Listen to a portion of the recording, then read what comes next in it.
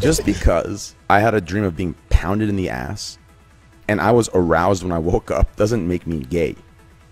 It was fucking hot, okay? A big ass, six foot five, werewolf looking guy with huge muscles bear hugged me, and I was just face against the glass.